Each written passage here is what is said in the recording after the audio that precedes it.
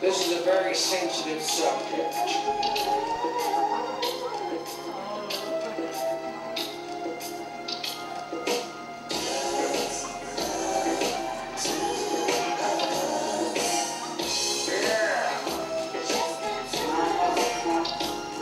From the moment I heard proud, say I had a clown. I knew that I'd be safe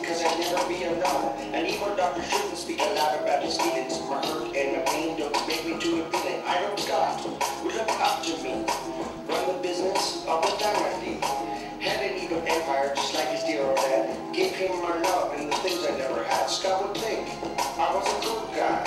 Return the love I have, make me want to cry, be evil. But how my feeling too. Change my life with Oprah and Maya Angelou. But Scott rejected me. Say not be. Life is cruel, treat you unfairly. Even so, a God there must be,